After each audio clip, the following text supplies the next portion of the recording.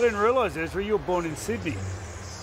Not, I'm not a New South Welshman. I just said. Yeah, yeah, yeah, hands off, hands off, hands off. mate. Don't start that debate.